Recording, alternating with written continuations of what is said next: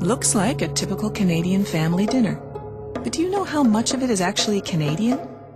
We may think of ourselves as being totally self-sufficient. Well, think again. We import more than 53% of our vegetables and almost all of our fruit. In 40 years, red meat imports have gone up 600%. In fact, in a 15-year period, our food imports rose 160%, while our population rose only 15%. In 2004, Alberta imported over $170 million worth of fresh vegetables. Their exports, 400,000. Even Ontario, with some of Canada's best farmland, imports $4 billion worth of produce more than it exports. And we don't just bring in exotic fruit or things we can't grow here.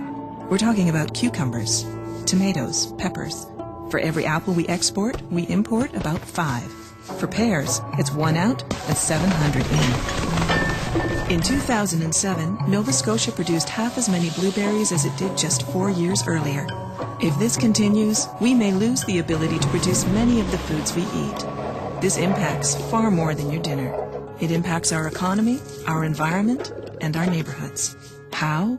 Well, for starters, many of our small family farms struggle to stay afloat, while many of our grocery dollars end up in other countries. So are cheap imports really worth it?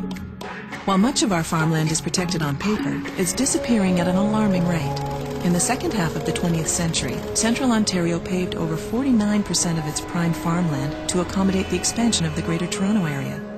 The Kitchener-Waterloo area is surrounded by fertile farmland, yet the average distance traveled by 58 imported foods commonly eaten in Waterloo is 4,497 kilometers. Where does our food come from? This so-called fresh food can take days or even weeks to get to us and can lose nutritional value on the way. Local food can be on our plates in hours.